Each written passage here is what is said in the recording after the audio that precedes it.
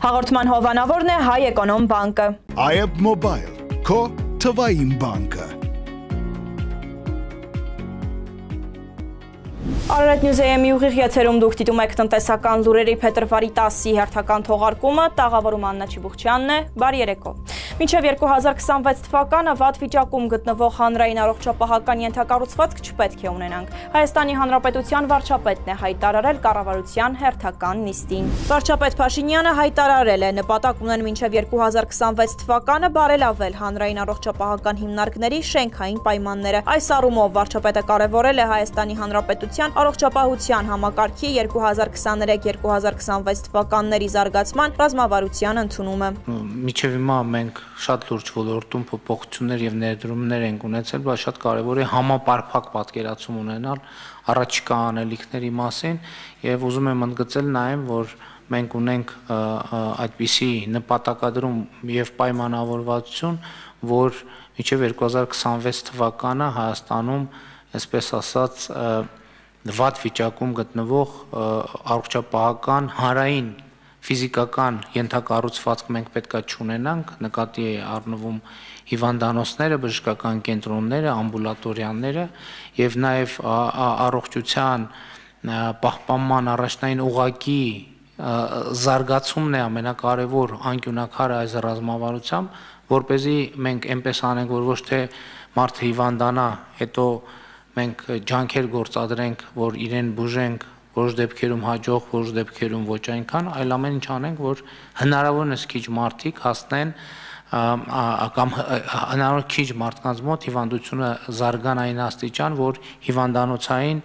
միջամտության անհրաժեշտություն լինի եւ իհարկե այս գործում առողջապահության համապարփակ ապահովագրությունը իհարկե այն սյունն է, որի շուրջ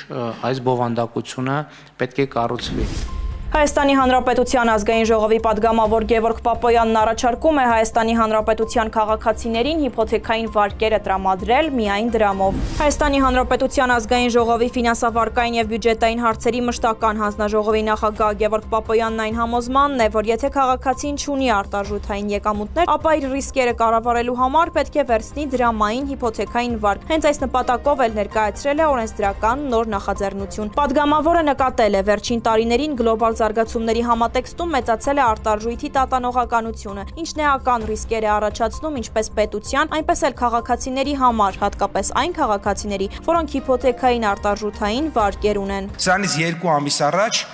եվրոյի փոխարժեքը 392 էր։ Եվ այն քաղաքացին, որը օրինակ եվրոյով հիպոթեկային վարկեր վերցրել, այսօր արդեն նա 9% ավել փոխարժեքով պետք է վճարի, որովհետև նրա փոխարժեքը 392-ից բարձրացել է 427-ի եւ նա եթե նա օրինակ 2% ավելի ցածր վարկ ստանալու համար գնացել էր եւ եվրոյով էր վարկ վերցրել, նրա վարկը արդեն 2 ամսում 9%-ով թանկացել է։ Այս օրենսդրական նախաձեռնությունը հենց դրա մասին է, որ եթե քաղաքացիները, ռեզիդենտները չունեն արտարժութային եկամուտներ, առհասարակ մեր ռեզիդենտները չեն կարող ունենալ առանձին շատ փոքր բացառություններ չհաշված արտարժութային եկամուտներ, ապա նրանք չեն կարող ստանալ եւ չպիտի ստանան արտարժութային վարկեր։ Շարունակում է աճել էլեկտրական շարժիչով մեքենաների ներկրման թիվը Հայաստան, այս մասին տեղեկանում ենք շրջակա միջավայրի նախարարությունից։ Շրջակա միջավայրի աղտոտումը նվազեցնելու, արտանետվող գազերի քանակը կրճատելու եւ էկոլոգիապես մաքուր տրանսպորտային միջոցների օգտագործումը խթանելու նպատակով Հայաստանի Հանրապետությունը վարում է էլեկտրամոբիլների զարգացման ուղղված քաղաքականություն, այդ թվում շահագործման համար անհրաժեշտ ենթակառուցվածքների մասով։ Հայաստանի Հանրապետության շրջակա միջավայրի նախարարությունից հայտնում են 2022 թվականին թվականին մեր երկիր է ներկրվել 2663 էլեկտրական տրանսպորտային միջոց։ 2021 թվականին 1898, 2020-ին 358, իսկ 2019-ին 145 տրանսպորտային միջոց։ Հայաստանի Հանրապետության ազգային ժողովը քննարկել է կառավարության ներկայացրած օրենքի նախագիծը, որով նախատեսվում է փողոցային առևտրի դեմ պայքարն ուժեղացնել։ Հայաստանի Հանրապետության օրենսգրքում լրացումներ կատարելու մասին եւ կից ներկայացված օրենքների նախագծերի փաթեթն աժանիստում ներկայացրել է Հայաստանի Հանրապետության տարածքային կառավարման եւ ենթակառուցվածքների փոխնախարար Վաչե Տերտերյանը։ Փաթեթը նպատակ ունի կանոնակարգելու առևտրի եւ ծառայությունների մասին օրենքի իրավական կարգավորումներից բխող ծննդամթերքի վաճառքը չսահմանված վայրերում եւ չսահմանված գործընթաց դասներով իրականացնելու խնդիրները։ Ամենօրյա մեր կյանքում ականատես ենք լինում, որ Երևանում հատկապես խոշոր համայնքներում եւ նաեւ միջին քաղաքային համայնքներում, ինչու ոչ նաեւ գյուղական համայնքներում հաճախ սննդամթերքը եւ այլ ապրանքներ վաճառվում են բացօրթյա առևտրի համար չնախատեսված վայրերում եւ խախտելով օրենսդրությամբ եւ իրավական այլ ակտերով կարգավորված ամրագրված ամրագրված պահանջները տեղական ինքնակառավարման մարմիններին տրամադրված կամ ամրագրված այսօրվա վարչական գործիքակազմը բավարար արդյունավետ չի դիտվում եւ մենք առաջարկում ենք այս գործիքակազմի հետ միասին նաեւ ներառել նոր լրացուցիչ գործիքակազմ այն է, որ այդ ծառայությունների մատուցման ընթացքում օգտագործող առարկաների նկատմամբ թույլատրվի նաև բռնագրավում, որովհետև հակառակ դեպքում միայն դուժերով ու տուգանքներով այս արատավոր երևույթի դեմ պայքարելը համենայն դեպս մինչև հիմա շատ արդյունավետ չի եղել։ Փոխնախարարն է նկատել, հաճախ տարածքները վերածվում են սպոնտան առևտրի վայրերի եւ հակասանիտարական, հակահիգենիկ պայմաններում վաճառվում է սննդամթերք, այդ թվում իրենց հատկություններն արագ կորցնող սննդամթերք, դրա հետ զուգահեռ նաեւ տնտեսական եւ այլ տեսակի առարկաներ։ Հիշեցնենք, որ սահմանված տեղերում ծառայություն մատուցելն առաջացնում է տուգանք, որը սահմանվում է նվազագույն աշխատավարձի 70-ից 100 պատիկի չափով։ Մեր երկրում մշակող արդյունաբերությունն աճել է, հանքարդյունաբերությունը նվազել։ 22 թվականին թվականին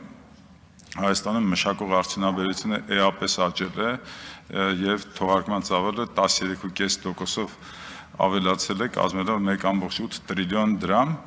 փոխարենը մի փոքր նվազել է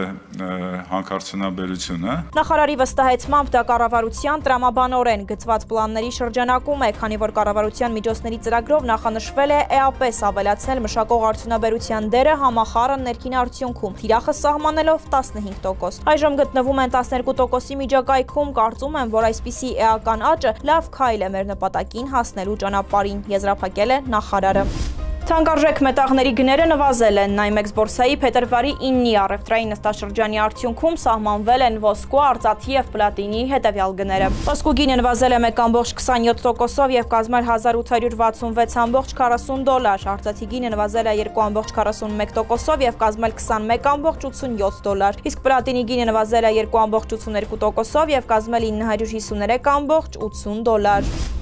Այժմ տարադրամի փոխարժեքի մասին։ Փետրվարի 10-ի դրությամբ Հայեկոնոմ բանկը սահմանել է տարադրամի հետևյալ փոխարժեքները։ Ամերիկյան 1 դոլարը գնվում է 392, վաճառվում 402 դրամով, 1 եվրոն գնվում է 416, վաճառվում 433 դրամով։ Ռուսական ռուբլին գնվում է 5.34, իսկ վաճառվում 5.60 դրամով։ Լրահոսում տնտեսական լուրերն այսօր այսքանն էին, տաղավարում աշխատեց Աննա Չիբուխչյանը, մաղթում եմ խաղաղ հանգստյան օրեր։